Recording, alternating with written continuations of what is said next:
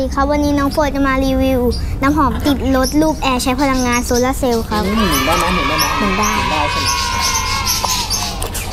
ตอนนี้ก็แกะออกมาแล้วมีน้ำหอมที่กรองใส่แอร์อันนี้เหรอ ใช่ มันเป็นอันนี้ที่ใส่กรองแอร์แล้วตรงใส่นี้ใช่ไหมแล้วอีกอัอันนหนี้งก็อะใส่คอยล์ร้อนอ๋ออันนี้ใส่เป็นคอยล์ร้อนตรงนี้นะแล้วตรงนี้มันหมุนได้ด้วยเหรอ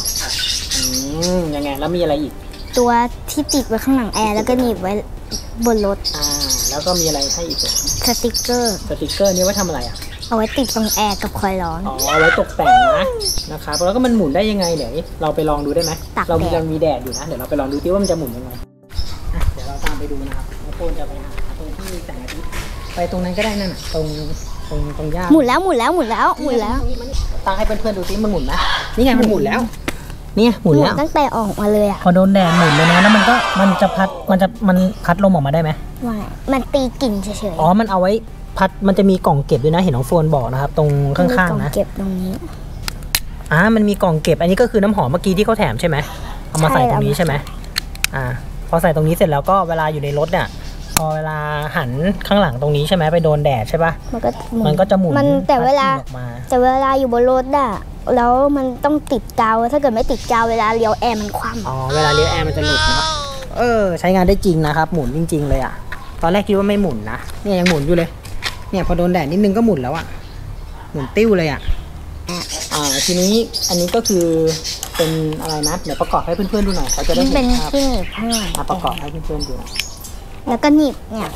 แล้วก็หนีบไว้ตรงอ๋อแอร์สมมติตรงนี้เป็นแอร์เป็นคีบแอร์ของในรถนะครับมันก็จะหนีบแบบนี้เนาะแล้วก็ตรงไหนใส่น้ำหอมอ๋อมีตรงนี้เปิดแอร์แล้วก็ข้างหลังใส่น้ำหอม ของข้างบนนะอยู่ข้างบนเนาะ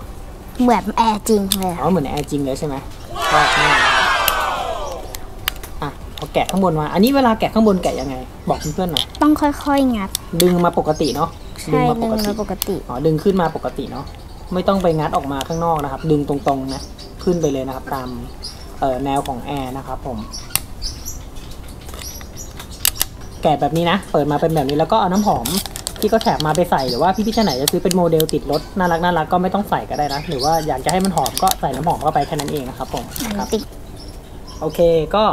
ประมาณนี้เลยนะสำหรับคลิปนี้น้องพงก็ต้องขอลาไปก่อนนะครับ อย่าลืมกดไลค์กดติดตามช่องฟุตสตอรี่ด้วยนะครับครับนี่นะ เป็นแอร์จิ๋วของน้องโฟนนะนี่นะครับ